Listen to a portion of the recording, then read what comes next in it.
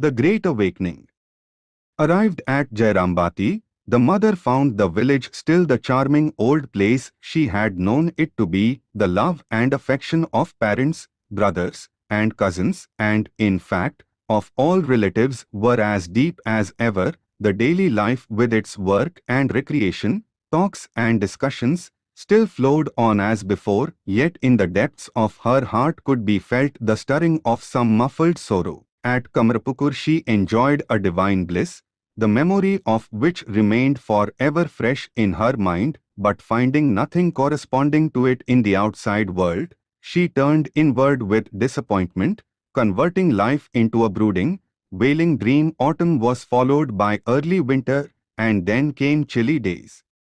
But for ever the Holy Mother kept her ears pricked up for any chance news trickling into this village despite the barriers of transmission and rural indifference. Thus passed four long years. In the meantime some stray pieces of news broke into the quiet sublimity of Jairambati and stimulated gossip. The villagers concluded from what they had heard that Sri Ramakrishna had lost his mental balance. The mother had now neither zest in work nor solace in imagination, she only went about her daily round of duties mechanically.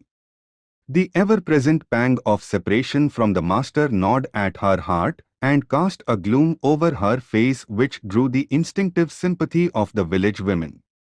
But they, however, owing to their ignorance or narrow outlook, talked in a way that intensified rather than assuaged her agony. Their companionship became intolerable rather than welcome. Though they seemed to share her sorrow, they really pointed to her husband as an object of ridicule. And quite a few said pointing to her, that's the wife of a madman, or under the guise of consoling her, inflicted on her a cruel wound by saying, Ami. Shyama's daughter has been married to a lunatic. Loathing such company, the mother avoided visiting any house and kept herself constantly engrossed in work. To a loving, faithful wife, any criticism of her husband is intolerable. She kept to her home all the time. And when this became oppressively monotonous, she would go to Aunt Bhanu's one house and there on a veranda she would spread out her cloth and lie down. The pure-hearted Aunt Bhanu had an insight by which she got a glimpse of Sri Ramakrishna's hidden greatness. She said to Shyamasundari Devi, well, sister-in-law, your son-in-law is Siva, none other than Krishna himself. I prophesy that in future you will believe what you don't now. When the master came to Jairambati for the second time to take his girl wife to Kamarpukur, Aunt Bhanu reminded of the divine couple Siva and Parvati, sang merrily, As thou art beautiful, my little child, Sarada, hast thou got a groom who is both mad and naked. We have to remember that in those days the mother's complexion was bright and fair. Aunt Bhanu recognized even in those early days, and in her own way, the master and the mother as Siva and his consort. But people regarded her as too emotional in her nature and nobody heeded her. Her house was the only place where the mother got shelter and mental composure. But obviously a whole life could not be spent thus. True it was that she did not believe in all the gossip that was going on about the master. For, it was incredible that the master could be mad, he whose holy company had conferred on her immeasurable bliss only the other day, whose divine fervor infected her also to some extent and brought about an indescribable elation in her whose selfless thought for others had charmed her, and whose wise discourse and witty remarks held all spellbound for hours. But, all the same, the ignorant village people could not evaluate his afflatus, and so their unbridled imagination raced apace, and their criticism was unchecked. The dutiful wife, therefore, came to think at last, when all people talk thus, let me once go and see him. At the beginning of 1872, Many people of the neighborhood were going to Calcutta for bathing in the Ganges on an auspicious day, which was near at hand. The mother wanted to accompany them, and yet through fear and bashfulness she could not speak out. At last no longer able to suppress her idea, she divulged it to a woman who communicated everything to Ramchandra. The old noble-hearted father took it in the best of spirits and said, Does she want to go? Very good. And he himself escorted her. Along with other pilgrims the father and the daughter had to travel about 60 miles on foot.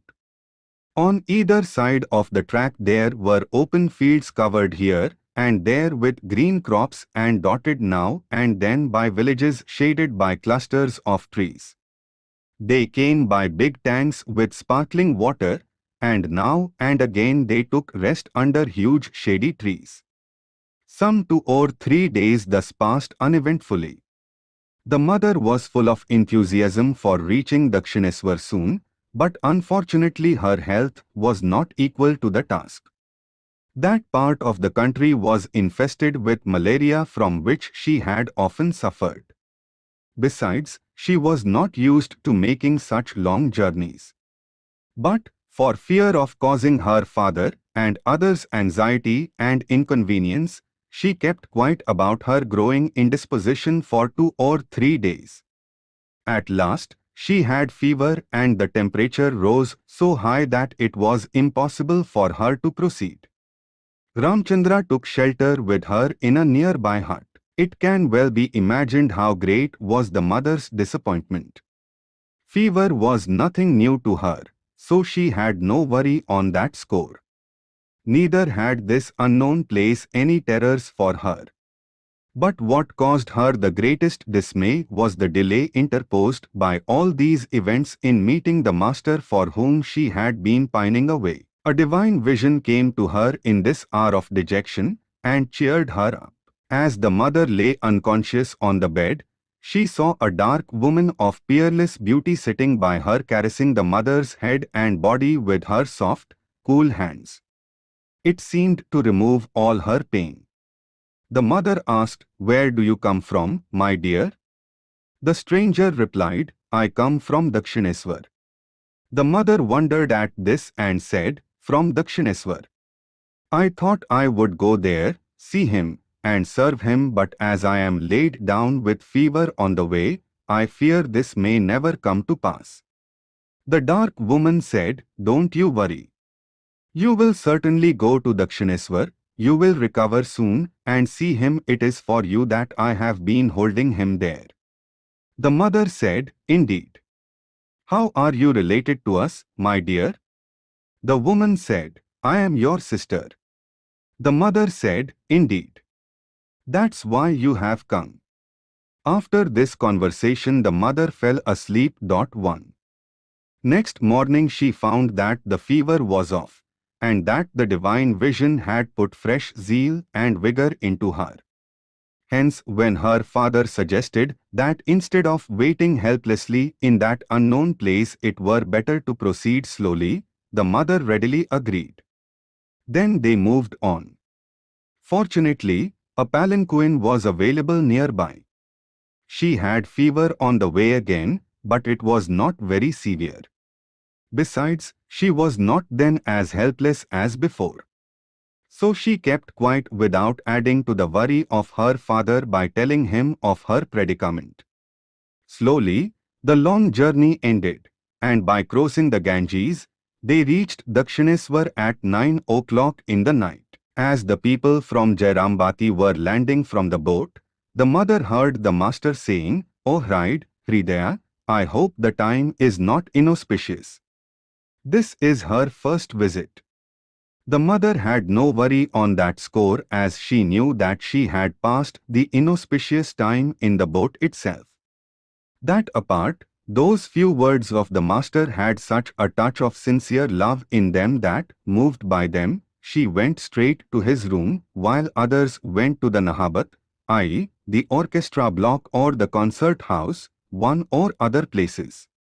As soon as he saw her, the Master said, Ah, you are here at last. That's well done. Then he ordered someone nearby, spread a mat for her. A mat was spread on the floor of the room. The mother sat on it and talked with the master.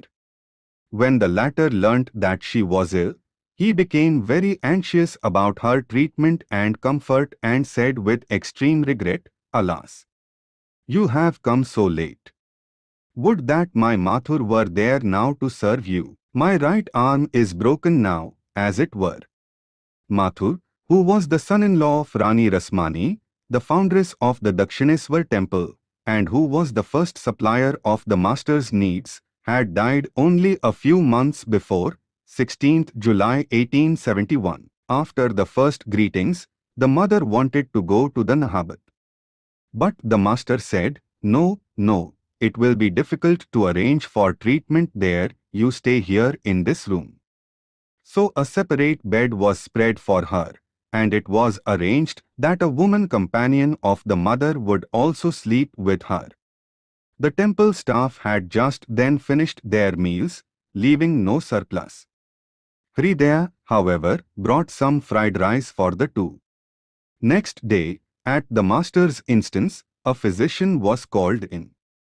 Through proper care the mother came round in three or four days, after which she went to live in the Nahabat, where her mother-in-law lived. When the old lady came to Dakshineswar, a room in the building where the proprietors of the temple lived was allotted to her. But a few months before the demise of Mathur, Akshay, a nephew of the master, died in that room and as Chandra Devi did not like to live there in the midst of old painful associations, she shifted on to the Nahabat, saying, I won't live there any longer. I shall stay in this Nahabat room and shall keep my eyes fixed on the Ganges. I have no need of that bungalow any more. Any suspicion that might still be lingering in the mother's heart about the master's mental aberration and apathy towards her was set at naught by direct communication. What exaggerated tales had indeed been circulated among the ignorant villagers. There a god had been equated with a lunatic. And not only so, the gossips had been persistent and vigorous enough to impart even to such a faithful heart as the mother's a slight touch of doubt. But now she saw that her God was just as he had been. Far from forgetting his wife, he seemed to be even more concerned about her.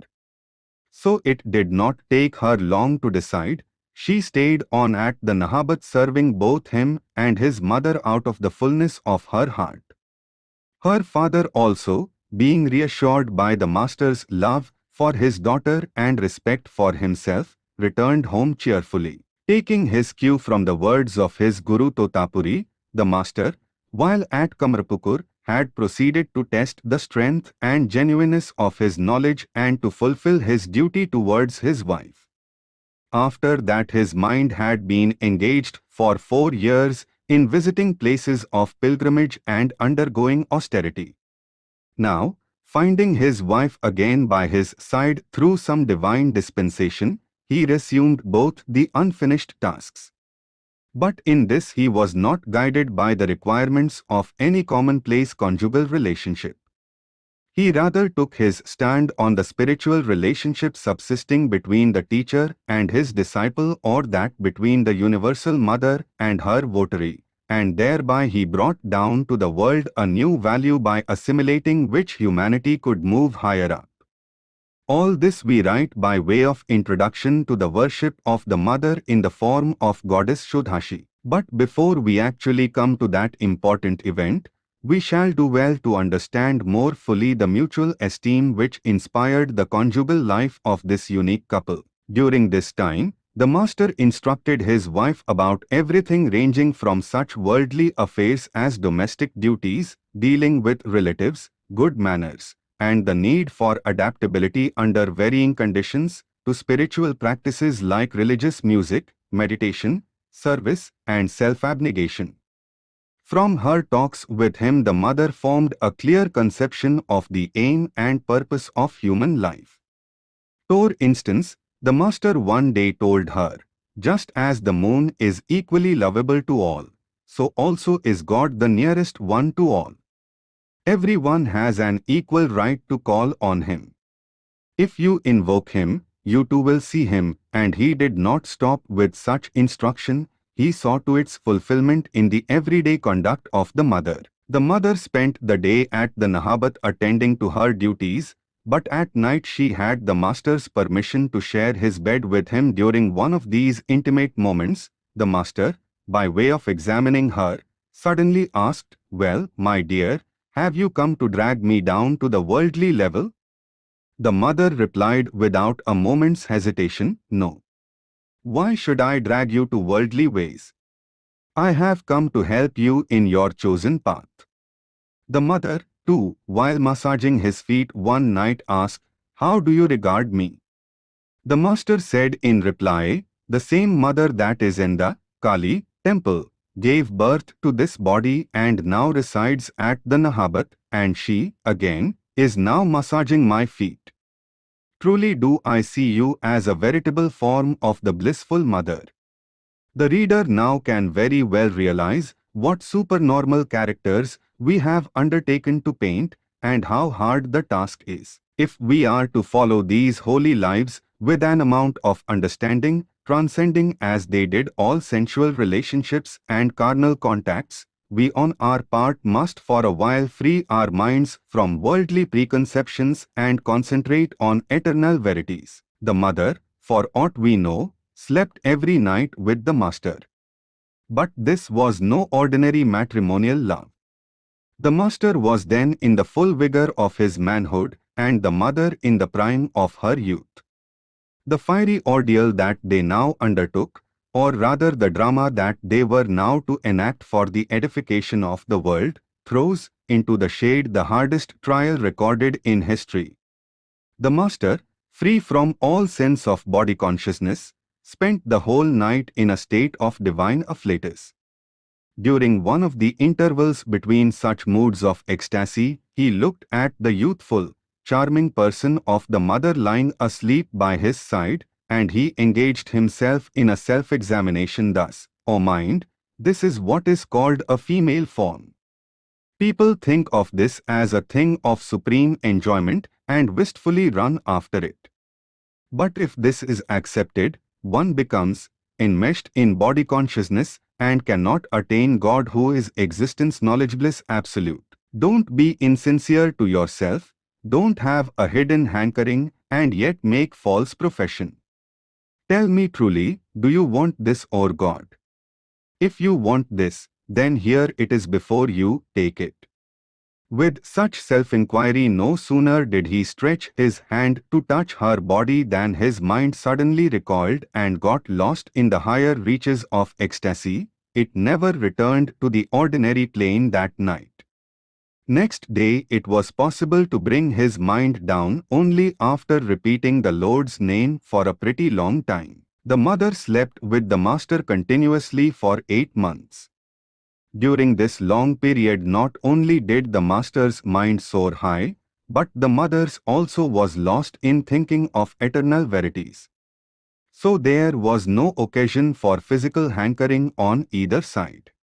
The master was so deeply impressed by the immaculate purity of the mother's character that in later days he bore witness to it in these words, If she had not been as pure as she really was, if she had lost self-control and seduced me, then who can say if I too might not have lost self-control and come down to the physical plane? After my marriage I prayed earnestly to the Mother of the universe, Mother, do please totally eradicate all passion from my wife.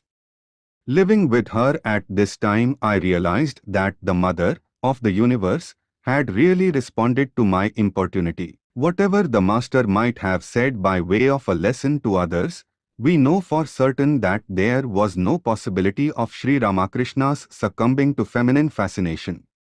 For, had he not fully established himself in transcendental poise after being freed from earthly cravings?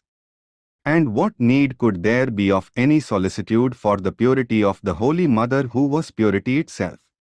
But there is some meaning in all this when we look at it as a deliberate attempt at setting up a model, and then also the need for a public declaration of a secret truth becomes comprehensible. For only the husband and the wife know each other thoroughly, and so from the worldly point of view a certain intrinsic value attaches to the evidence of each for the other. Although the mutual relationship of the master and the mother found expression in various ways, it reached its acme in the Shodashi one worship. This is not the occasion for understanding the mystic import of this rite from the master's angle of vision. Our endeavor will be to study its implication from the mother's side. The master had accepted the little Sarada as his wife and given her a foretaste of divine love at Kamarpukur, and at Kamarpukur and Dakshineswar he had equipped her mind for domestic as well as divine life. Now was the time for awakening and making active the divine in the woman. Moreover, on the master's part, there was need for raising her in the estimation of the world by offering his own sincerest worship, so that she might naturally take up the threads of his unfinished task after him, and it was necessary, too, to make that deity conscious of her real stature. That was the meaning of this worship. After the master had been assured of Sarada Devi's purity by living with her for a month and a half, he proceeded to offer her his heart's adoration. The new moon night of 5th June 1872 was the auspicious time for the worship of Kali in her aspect as Phalaharini, destroyer of the effects of past deeds. In Sri Ramakrishna's mind grew the desire of worshipping that night the Mother of the universe as Shodashi. Dot to the worship was not to be performed in public, but secretly in the master's room according to his own wishes. The master usually relied on Hridaya for such odd jobs. But that night, Hridaya had to perform the special worship at the Kali temple, and he left for the temple after doing what little he could. Then, Dinu, one the other priest, came to the master's help after finishing his daily task at the Vishnu temple. All the accessories of the worship were now duly arranged, and there was in front of the master an artistically decorated low wooden seat for the deity, though no image had been brought. At last when everything was in order, priest Dinu left the place at 9 o'clock. The master had asked the mother to be present at the worship. Now she entered the room and looked on intently as the worship proceeded. The master sat near the western doorway facing eastward. With the chanting of appropriate mantras, he sanctified the accessories of the worship and after finishing the preliminaries, he beckoned the mother to the decorated seat. The mother had become semi-conscious through spiritual fervor as she had been watching the worship and now not knowing what or why she was doing, she moved forward as though under a charm and sat on the allotted low stool facing the master. The master took some sanctified water from the pitcher and sprinkled it on her body. Then, after uttering the mantras appropriate to the occasion, he prayed to her, O thou eternal virgin, thou mother Tripurasundari, the source of all power, do thou open the gates of perfection. Sanctifying her mind and body, do thou manifest thyself through her, the Holy Mother, and ordain all good. Then he mentally identified the different limbs of the Holy Mother with the corresponding parts of the deity with appropriate sacred formulae, mantras, and considering her as none other than the deity herself, worshipped her duly with the usual 16 kinds of offering. At last the votary took up some sweets in hand and put them in the mouth of the deity. By and by, the mother lost all outer consciousness and the worshipper, too as he proceeded with his ceremonies, gradually lost himself in beatitude. On that level of ecstasy the deity and the devotee became identified. In this way hours passed, and when midnight was long over, there were signs of the master's recovery from his absorption. As soon as he regained sufficient consciousness, he offered himself to the deity and then laying himself, the fruits of all his disciplines and his rosary at the feet of the goddess, he uttered the salutation, O thou, the most auspicious goodness among all auspicious things, the fulfiller of all aims, the refuge of all, thou the threed, golden-hued consort of Siva, thou the power of Narayana, I salute thee. The worship was over, and this adoration in a human figure of the Divine Mother who is the source of all enlightenment ended the long course of austerity that the Master had undertaken. And for the Holy Mother too, was opened the door leading to the highest achievement that humanity conjoined with divinity can attain. After the worship she returned to the normal plane and saluting the Master left for the Nahabat. The mother had then completed the 18th year of her age and entered the 19th, though by mistake she often said, I had then commenced my 16th year. We now put in brief the other details of this incident that the curious women devotees gathered from the mother. When the mother said that at the commencement of the ceremony, the master painted her feet with liquid lacti, put vermilion on her forehead, clad her with a new piece of cloth, and put betel and sweets into her mouth, Lakshmi Devi asked with an amused smile, You are so shy, my dear, how did he put clothes on you? The mother simply replied, I was not quite myself then. The mother sat facing the jar of Ganges water which used to be kept at the northwest corner of the room and to her right were the materials for the worship. A night-long festivity was going on outside, and nobody knew what was happening within the closed room, nor did noise from outside reach them. There were only two persons sitting facing each other, the master and the mother. Towards the end Hridaya came in. After the adoration, the mother was faced with a problem. What was she to do with the conch bangles, cloth, etc., which she had received as offerings?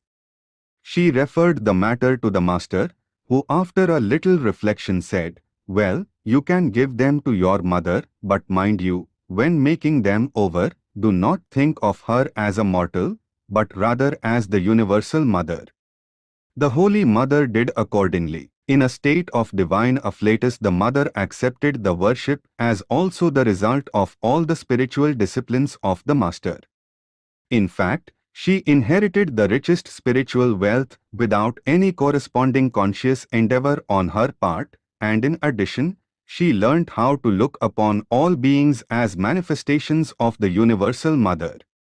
The Master, too, felt himself quite at ease after discharging the highest duty to his partner in life. The mother continued to share the Master's room for about six months more even after this ceremony. This was not for her, however, an unmixed boon, for not being fully familiar with the divine moods of this unique personality who constantly got lost in trances and raptures, she off and on spent sleepless nights sitting by him and anxiously watching the startling, unfamiliar, physical changes. Words can't describe, she said, the spiritual states in which the Master remained merged.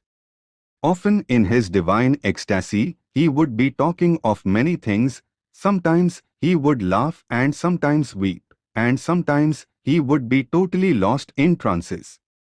This went on for the whole night. How deep a fervor it was and what an absorption. My whole body trembled at the sight, and I waited eagerly for daybreak.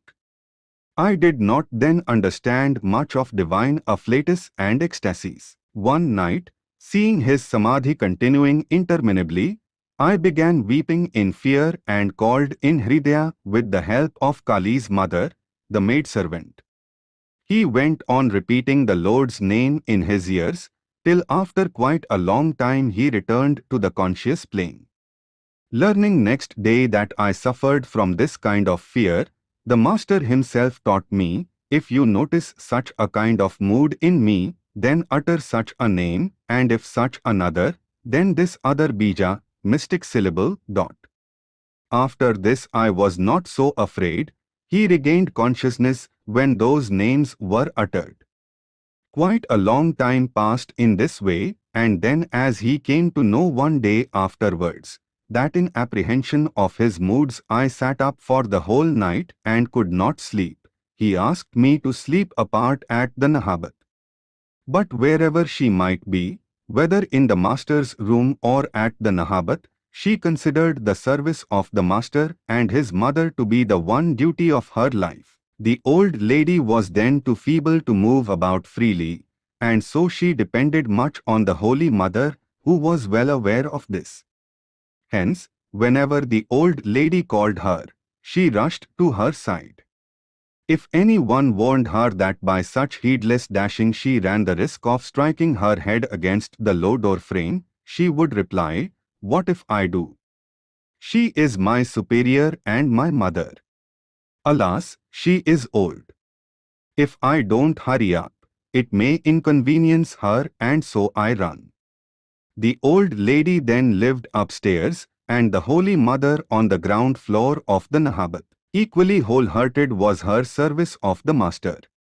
The companionship that she had through this medium of service, she considered to be a fortune for herself. The communion through service was not confined to the physical plane alone. Whenever the Master came down to the conscious plane during this period, he was swayed by a feeling of womanliness within himself, so much so that he considered himself, as also the Holy Mother and others, as the maids or handmaids of the Universal Mother. The mother then clothed and adorned him like a woman and felt elated at the thought that just like the master, she too was a maid of Kali. Again, she asserted no independence and showed no self-will in this act of service, she felt satisfied by doing the little the master wanted and that in the manner he favored. A year after the Shodashi worship, the mother fell ill.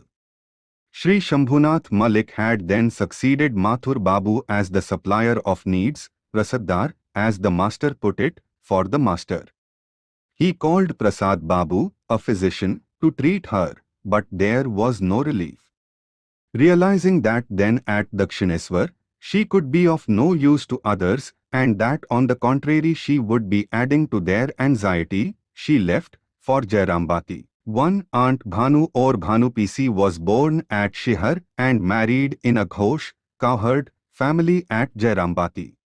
The Mukherjees were their priests at Jairambati and the Mazumdars of her father's family at Shihar.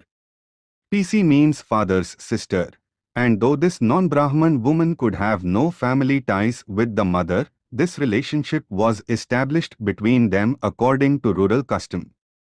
The master also called her Bhanupisi. 1. The Leela Prasanga takes this to be Dola Purnima which fell on 25th March 1872. But it might have been the Chitra Samkranti day which is widely observed as an occasion for holy bath. The mother never spoke of Dola Purnima, but vaguely referred to some sacred day. She also said, The master worshipped me as Shodashi a month and a half after my arrival there.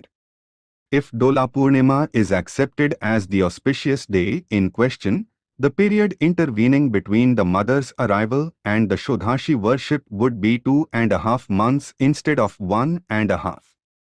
The mother was not likely to forget such an important event in her life. In this, as also in subsequent narratives, we take her version as the most authoritative. One on another occasion the mother related the incident thus, once, when on my way to Dakshineswar in my early years, I had fever. I lay unconscious, when I saw a dark-complexioned girl with dusty feet sitting by my bedside and stroking my head. Seeing her feet full of dust I asked, Dear child, did not anybody offer you water for washing your feet? She replied, No, mother, I shall leave forthwith. I came to see you. Don't be afraid, you will recover. And truly, I did recover gradually from the very next day. 1. There are two detached two-storied structures on the Ganges on either side of the main temple compound. They were originally meant to be used for playing temple music at stated hours, particularly early morning and evening. We are concerned only with the northern one, which does not seem to have been used for this purpose. The master's mother Chandra Devi first used the upper story as a dwelling room. Later the Holy Mother took up residence on the ground floor. 1. Shodashi is the mother of the universe in the form of a most beautiful woman in the prime of her youth, exquisitely attired and seated on a throne. She is otherwise known as Tripurasundari or Srividya. In this instance the master accepted the Holy Mother as a symbol for the deity to start with and ultimately established her identity with the deity. This worship of the mother in human form is sanctioned by the scriptures, though the usual symbols are pictures, pictures, earthen images, yantras, ritualistic drawings, etc. 2. The Leela Prasanga, Sadhaka Bhava, pp. 553 to 54 fixes the date for this ceremony as the 25th May 1873 or more than a year after the mother's arrival at Dakshineswar. The mother herself put this as one month and a half. Wide footnote on p. 41 and in Sri Ramakrishna Deva, a biography of the master by his direct disciple, Shashibhushan Ghosh, we read that the worship was performed within three months of Sri Sarada Devi's reaching Dakshineswar, p. 331. The mother above says that she returned to Jairambati one year after the worship Sri Shri Mayer Katha 2 130. 1. He belonged to Mukundapur and was the son of a cousin of the master.